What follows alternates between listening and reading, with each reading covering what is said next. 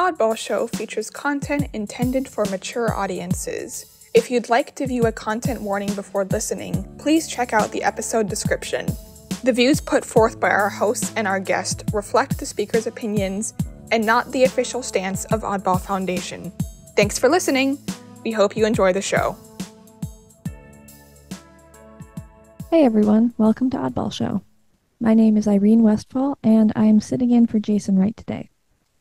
Today we will be exploring another chapter in the history of psychiatry and mental health, the shock therapies and psychosurgeries that emerged in the early to mid 20th century as these allegedly groundbreaking new cures for mental illness. So we now know that many of these treatments' alleged cures were an illusion. But it's still worth going back and seeing how these treatments worked, or were supposed to work, and what they reveal about how society dealt with mental illness and psychiatric patients in the early to mid 1900s. Also, which treatments, if any, are still used today. I'd like to give a quick shout out to Anne Harrington's wonderful book Mind Fixers, which we used for a lot of the research for this episode. If you haven't checked out Mind Fixers, please go and do that. It's a fascinating, if somewhat disturbing, read. We will have a list of all of our resources in the show notes for anyone interested in learning more. So, let's start off with malaria fever treatment. Have you ever heard of that? I hadn't. Basically is the idea that getting really, really sick and having a high fever might help you get better when you recover. So, this treatment has its roots in the work of Austrian psychiatrist Julius Wagner Jauregg. In 1887, Wagner Jauregg noticed that a mentally ill patient of his, who had come down with a very high fever, seemed to have improved remarkably afterwards, from the psychosis, that is. He wanted to test out whether the fever had actually improved his patient's mental state, and so, horrifyingly enough, he then injected several psychotic patients with an experimental tuberculosis vaccine. He wanted to see if the fever that the vaccine caused would cure them. It didn't, and some patients died. Then Wagner Jauregg thought that maybe this fever treatment could work on patients with something called general paralysis of the insane, or GPI, which is what we now know as the psychosis that's caused by late stage untreated syphilis. When it's untreated, this disease is always fatal. Syphilis was a huge problem in the early 20th century. Um, Al Capone died of syphilis, by the way, and it was something that troubled psychiatrists and doctors everywhere. Wagner Jauregg wanted to test out this hypothesis that fever treatment could work on GPI. To test it out, he would use malaria. Malaria is a dangerous and sometimes fatal disease, but unlike that experimental vaccine, it could be reliably treated with the drug quinine. So, in 1917, Wagner Jauregg withdrew blood from a soldier with malaria and injected it into nine patients with GPI. These patients became quite sick, and Wagner Jauregg let the fever run its course for weeks before then curing them with quinine. So, what happened? According to Wagner Jauregg, anyway, six out of the nine patients improved. It's a whole two thirds. So these results were promising enough to try out the malaria fever therapy, as it was called, with 200 patients. Eventually, from these experiments, Wagner Jauregg reported a 25% success rate. So let's do the math. This might not seem like a lot to me or to you. If I got a 25% on a math test, for instance, I'd fail pretty miserably. But for GPI, it was a lot more than anyone else had managed before. It was actually considered so groundbreaking at the time that for his work in treating GPI, Wagner Jauregg received the Nobel Prize in Physiology or Medicine in 1927. But make no mistake, it was a dangerous treatment. The mortality rate could range from 3 up to 20%. Nevertheless, malaria fever treatment forged on. For decades, it was actually the global standard for treating GPI. But what does that mean, the global standard, when malaria is an endemic all over the world? Where did all of this malarial blood come from?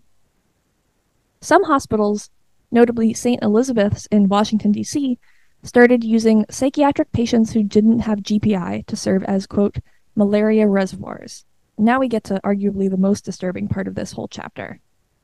So, these malaria reservoir patients, who were often the most vulnerable and marginalized in the hospital, would be infected with malaria intentionally, their blood would be withdrawn for later use, and then they'd be cured with quinine. This would happen over and over. Who were these patients? Now, we don't know for certain whether people were made to be malaria reservoirs because of their race or gender, but as Anne Harrington has argued in Mind Fixers, it is notable that St. Elizabeth's repeatedly used the blood of a man named Hussein, whose, quote, racially ambiguous status may have made him more vulnerable to abuse. We also don't know exactly how widespread this horrific practice was, but we know it was common in St. Elizabeth's, which was a pretty large and influential hospital in DC, as well as in some hospitals in Austria. So, what happened to this treatment? Did it actually work? Well, it didn't die out because of ethical concerns. Instead, the development of penicillin during World War II basically made it obsolete. Penicillin quickly became the standard treatment for syphilis, treating not only those with late stage GPI, but also people in the early stages of that disease. That meant overall that there were far fewer GPI cases around. And as for the efficacy of malaria fever treatment, we still don't totally understand how and whether it worked on GPI. Unlike most mental illnesses, GPI is caused by a sexually transmitted bacterial disease, syphilis, making it treatable with penicillin. However, it is possible that when patients did recover following the therapy, what was actually going on was that the malarial fever caused an immune response that then helped the body fight the syphilis too. Kind of fascinating stuff. So let's move on to insulin coma therapy.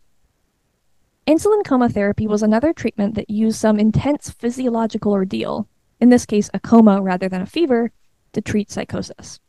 So the story starts in 1921 when scientists Frederick Banting and Charles Best discovered how to isolate and use insulin, which is a hormone used to help the body absorb and store blood sugar, to treat diabetes. This was a huge breakthrough. In the wake of that discovery, lots of other scientists hoped that insulin could be used to treat a ton of other diseases, not just diabetes. They wanted to try it on mental illness too. So, in high enough doses, insulin can induce comas. In Switzerland in the late 20s, clinicians began injecting psychotic patients with insulin to create hypoglycemic comas. This was meant to calm them down. Then, Manfred Sakel, a young Viennese doctor, took things a bit further. He injected a patient with psychosis with so much insulin that the patient experienced a seizure and then went into a deep coma. But then, when Sakel reversed the coma, which you do with an injection of glucose, the patient seemed to get so much better that he was able to actually leave the hospital and go back to work. Was that because of the insulin coma therapy? Was it more than just a way to calm patients down? Maybe it was actually curing the mental illness itself. Well, Sakel thought so. And he worked hard throughout the mid 1930s to test out and publish reports on his new treatment.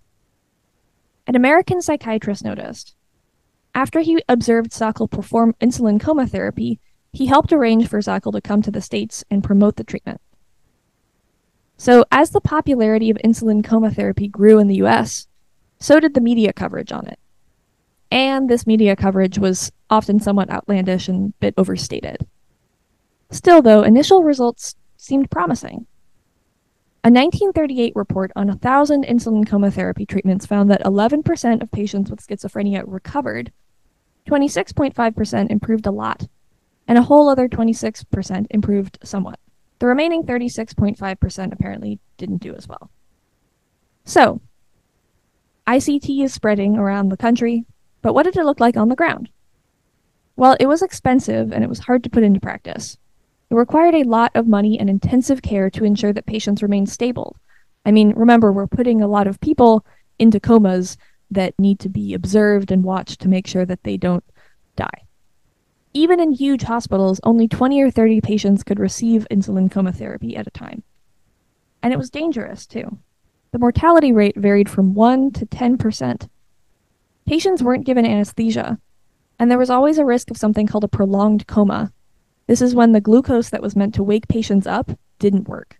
But the ICT wards themselves were, for many patients, actually special and genuinely therapeutic. Patients got specialized attention from nurses and staff that involved not only watching their comas, but also games and other fun activities. One doctor, British psychiatrist Harold Bourne, reflected decades later that maybe it was that feeling of finally being cared for, not the coma itself, that made ICT effective for some patients. So, what happened to ICT? Eventually, it was more or less replaced by a thing called metrazol shock treatment, which was a much cheaper and quicker way to induce convulsions and coma in patients with psychosis. So, let's move on to metrazol shock treatment. So, what is metrazol shock treatment? In the 20s and 30s, Hungarian psychiatrist Ladislav Meduna theorized that schizophrenia and epilepsy were antagonistic diseases. This means that having one of these conditions would prevent or inhibit the expression of the other condition. Some research studies tried injecting epileptic patients with schizophrenic patients' blood to see if their epilepsy would get better. Nothing happened. Also, schizophrenic blood. Jesus Christ. Meduna thought that it could work the other way. That is, that seizures could have a positive effect on patients with schizophrenia.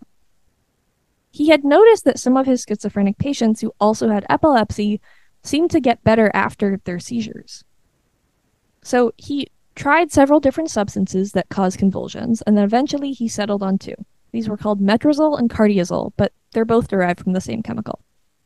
When you inject these drugs into patients' bodies, they cause immediate convulsions.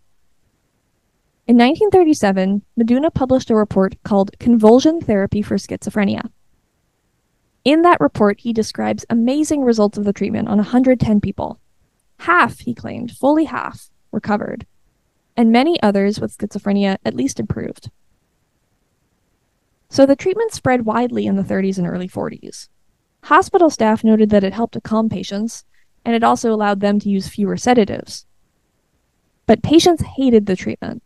The convulsions were so intense that they could lead to broken bones, lost teeth, even spinal fractures. At the New York State Psychiatric Institute, for example, a full 43% of patients undergoing this treatment had spinal fractures from it. So this was unsustainable, and metrazol shock therapy didn't last, but the idea did, and soon emerged electroconvulsive therapy. So let's move on to electroconvulsive therapy, or ECT. This was the shock therapy that in turn began to replace metrazol shock therapy in the 40s. And notably, this is the only one of these treatments still in use, though it's done differently now than it was back then. So ECT is essentially inducing a seizure with the use of an electrical current in order to alter the chemistry of the brain. So let's go back to the 1930s to understand its origins. In the 30s, clinicians and scientists were looking for alternatives to metrazol shock treatment because it could be so harmful. Ugo Cerletti, an Italian neurologist, experimented with using a controlled electrical current to induce convulsions. This will sound pretty grim, but Cerletti was modeling his experiments on the type of electric shocks given to pigs to stun them before being slaughtered. Cerletti's assistant, Lucio Bini, tweaked and tested a prototype on stray dogs, and he managed to refine the way the current was administered to the animal. By 1938, these two men felt that it was safe enough to test out on a human being. They found their test subject in a man nicknamed S.E. in later reports of this experiment. S.E. was brought to the hospital by the police in what appeared to be a psychotic state. He was speaking unintelligibly, and he believed that he was getting messages telepathically. Before moving forward with using SE as their test subject, Cerletti and his colleagues checked to make sure that no one would be asking after him. He had no friends or family to speak of, basically in the wrong place at the wrong time. So now that they had their candidate, the doctors went forward with the experiment. They administered a series of shocks, each one stronger than before. It's a pretty dramatic story. In the middle of the process, SE allegedly sat up and then started singing a dirty song off key. Cerletti then ordered that they administer the last shock treatment, which would be longer and stronger than before. SE then allegedly said, quote, Be careful. The first one was a nuisance, the second one was deadly. They proceeded anyway. S.E.'s spooky proclamation didn't come true, but the third shock did cause him to convulse and then stop breathing for 48 seconds. That must have been really tense 48 seconds. But then after he woke up, he seemed lucid. And a few weeks later, after undergoing voluntary treatment in the hospital, he was actually released. We don't really know what happened to him after that. As more tests were done establishing that ECT could be done both cheaply and relatively safely, the treatment spread widely in Europe and then in the US. So, what were its actual effects? Well, a lot of how ECT works on the brain is still unknown. We do know that, on one hand, the treatment can cause both short and long term memory loss. On the other hand, we also know that ECT is genuinely effective for some people, especially as a treatment for major depression. ECT is sometimes used for mania and psychosis too. The way the treatment works today is patients undergo several treatments of ECT over the course of weeks or months. What's actually going on inside the brain? It's not fully understood how and why ECT acts in the brain to relieve some forms of mental distress. Studies have shown that the seizures from the electrical current might alter the brain's physiology and chemistry in many ways, including helping facilitate more communication between neurons. And so that's how it's done today. But it used to be much more dangerous and painful than it is now. And ECT was also criticized for being used to manage or control, quote, difficult patients.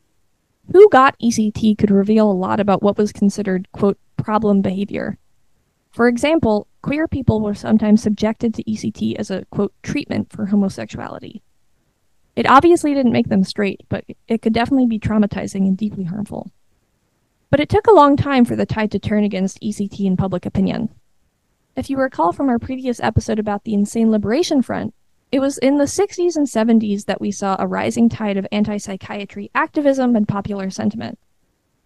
ECT had been around for decades, but it was in those years that ECT became synonymous with psychiatric abuse.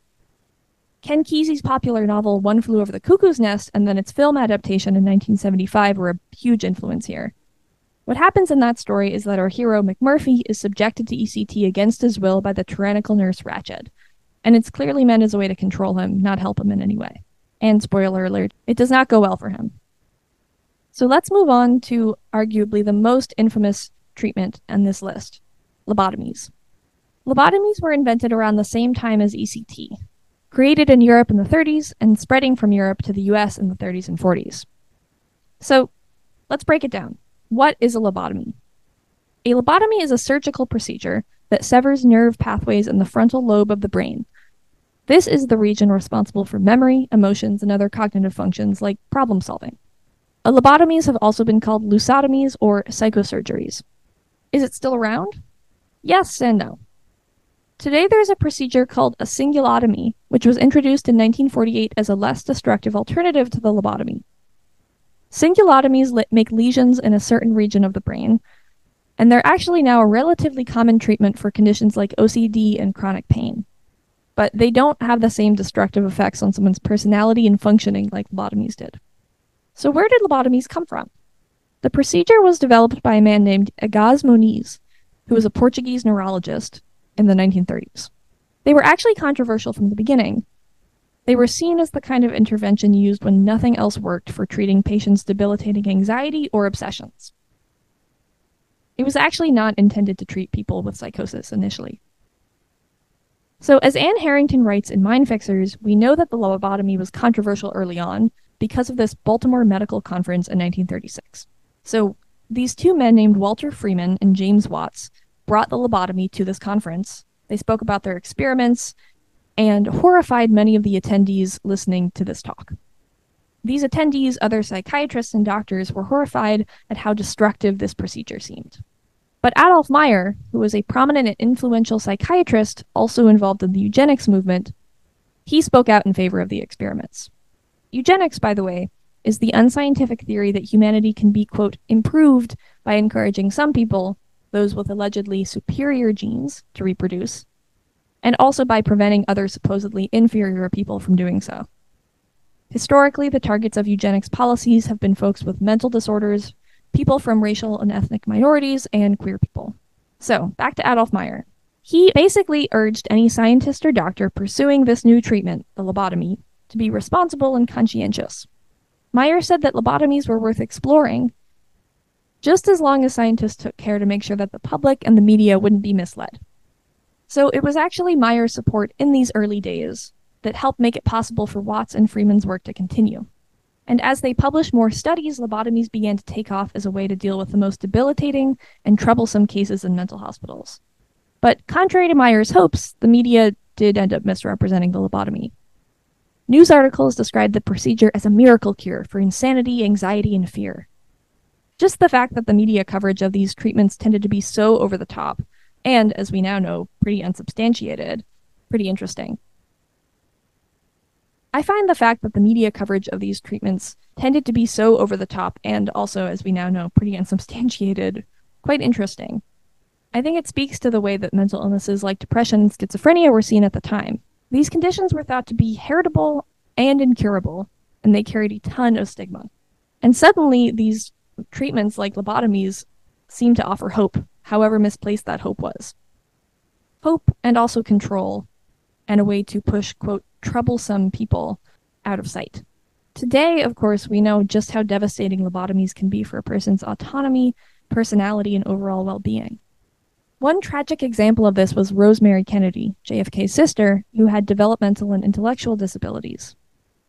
As she grew up, her family put a great deal of effort into teaching her how to behave properly in the elite world that the Kennedys inhabited.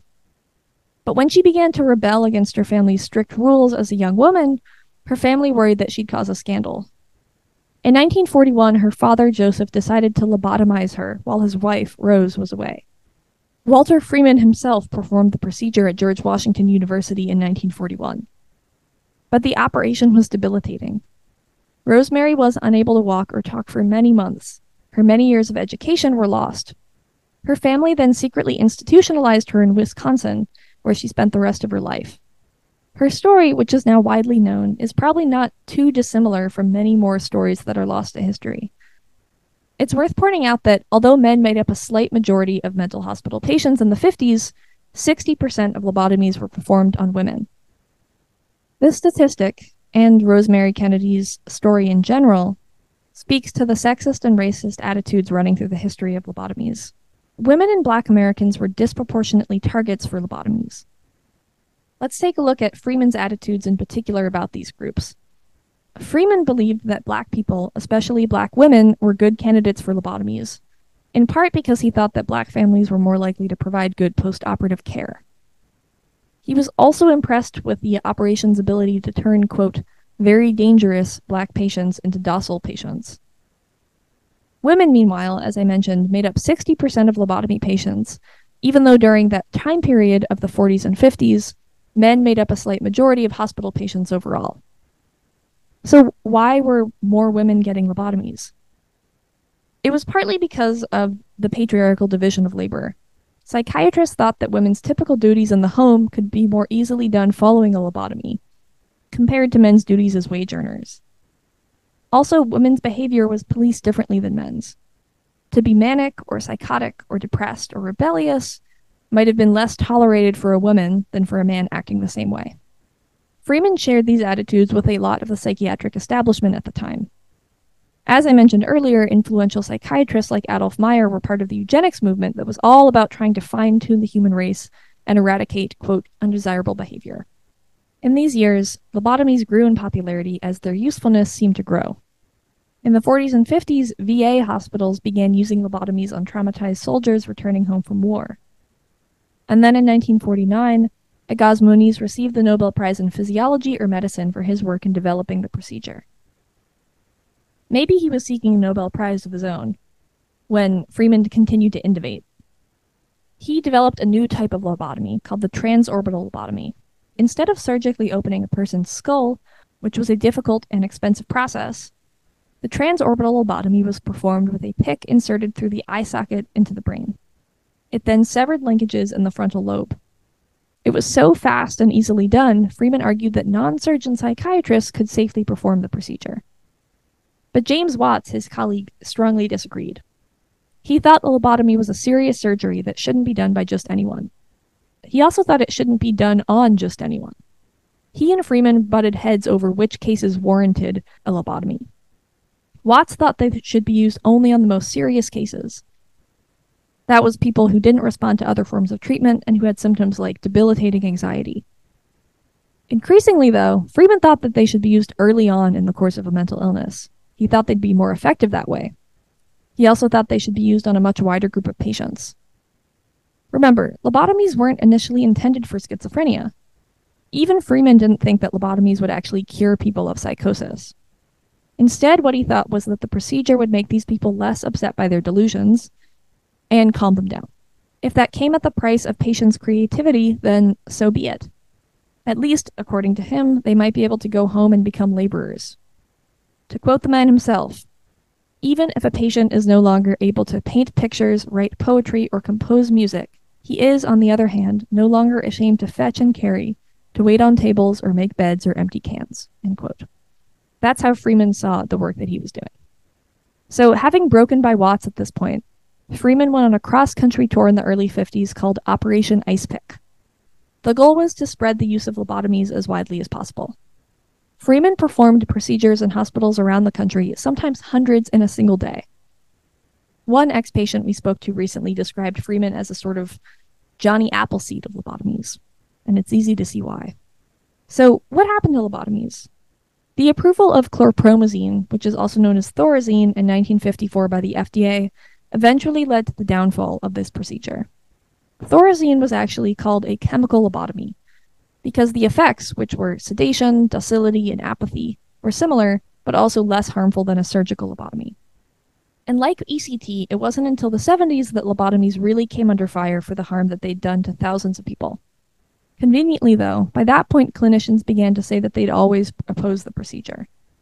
But for many folks, the damage had already been done. So let's recap. In this episode, we've chronicled five psychiatric treatments. The perplexing thing about some of them is that in some cases they seem to actually work for some people, or at least clinicians claim that they did. But crucially, at what cost? Malaria fever treatment maybe did succeed in jolting a patient's immune system to action against malaria and syphilis, which was causing the psychosis. But it was dangerous and miserable. And the way that hospitals chose to do it was by purposely infecting and reinfecting the hospital's most marginalized with malaria. Insulin coma therapy carried a high mortality rate among patients and serious side effects, though that 1938 report did claim that a full 63.5% of patients improved or were cured of schizophrenia. Somewhat dubious. Later studies questioned the efficacy of an insulin induced coma over other kinds of comas or drugs. And it's also really hard to say whether the benefits that people did enjoy were due, at least somewhat, to just getting more attention and care. Metrazol shock therapy, whatever its supposed benefits, carried a huge risk of spinal fracture and other broken bones. Of all of these treatments, only ECT is still used, though more often for depression than schizophrenia. Though it carries the risk of memory loss, it can also help lift people out of the worst periods of their lives. And finally, lobotomies risk sacrificing a patient's individuality in exchange for being easier to manage for the people and institutions around them. And as we've discussed, sexist and racist attitudes about whose behavior needed the most regulation also factored in deeply. Any medical treatment has trade offs. The kinds of trade offs people are willing to accept, especially when they're making decisions on behalf of others, are deeply revealing of what we value and what we don't. For many doctors in the mid 20th century, for example, the costs of lobotomies, stuff like loss of creativity, autonomy, and personality, were worth the benefits. The benefits were measured by how well a troublesome patient could work and cause minimal disruption. For researchers pursuing a treatment for GPI, the possibility of scientific breakthrough and individual renown were worth sacrificing the health of patients made to serve as malaria reservoirs for their syphilitic peers. And in the 21st century, to take a more optimistic example, some people suffering from depression might reasonably decide that the risks of memory loss are worth it, or worth the possibility that ECT might relieve some of their symptoms. But back to what we value and what we fear. We fear psychosis, we value productivity. We fear the unknown, and we value scientific innovation, even at great cost to people's lives, if it means chipping away at the mysteries of the brain. I don't mean to suggest that scientific innovation, productivity, or simply the reduction of distressing symptoms are unworthy goals. But it's worth thinking about who in these medical histories got to decide what's worth it in the name of recovery or progress, and who should get to decide today. I think we should also consider what the trade offs are, more broadly speaking, when we invest our resources and our hope into specific medical treatments to fight mental illness. And not, for instance, into changing the circumstances that tend to exacerbate or cause mental distress for so many. These are things like economic instability, homelessness, violence, and a pervasive sense that the people in charge are not looking out for our best interests. These pursuits aren't mutually exclusive, of course.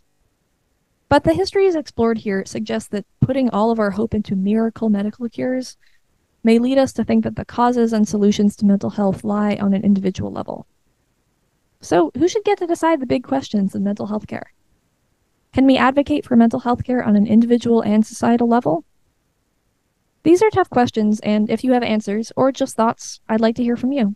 So don't be a stranger. Feel free to reach out to team at oddballfoundation.org or leave a comment and tell us what you think. This has been Oddball Show's Mental Health in Minutes. Thanks for listening.